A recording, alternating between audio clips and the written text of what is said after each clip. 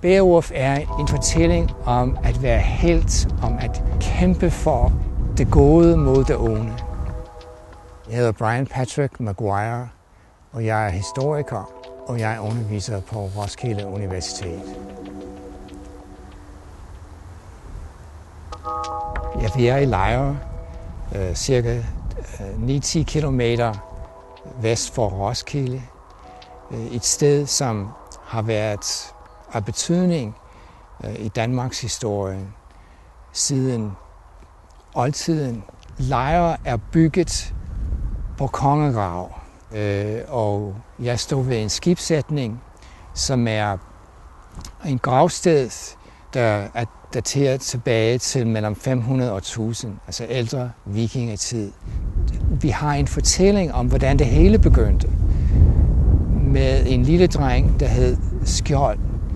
Øh, og han blev fundet på et skib, der var sejlet ind til Lejre eller Roskilde Fjord. Og han blev taget og bragt her, lagt på en stor sten, øh, og beundret og accepteret som stedets nye konge. Og, og kong Skjold, som han hedder, skabte sig skjoldungerne. Og en af dem var Rothgar, som øh, er den konge, som er en af hovedpersonerne i kvadet om Beowulf. Og Beowulf øh, handler om at bekrige uhørt. Så man forestillede sig faktisk, at der var en hal her øh, i lejr og en hal, som, hvor kongens mænd nød livet, drak mjød, øh, fortalte om deres store bedrifter.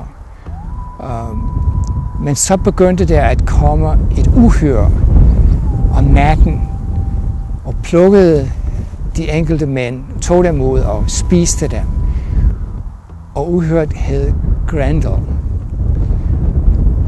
Og faktisk er der blevet udgravet i 80'erne og senere hen her i Lejre øh, resterne af nogle store haller. Så det kan godt være en historisk fundament til denne fortælling.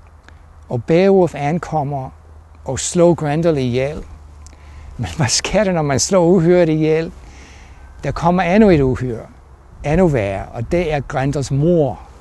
Hun lever i mosen, og der er netop mange moser her i lejren. Så hun dukker op, øh, og Beowulf må kæmpe med hende en halv dag. Den irske digter Seamus Haney og oversatte det øh, øh, på sådan en levende måde, at, at Beowulf igen blev en bestseller, øh, og den måde har fået et nyt liv.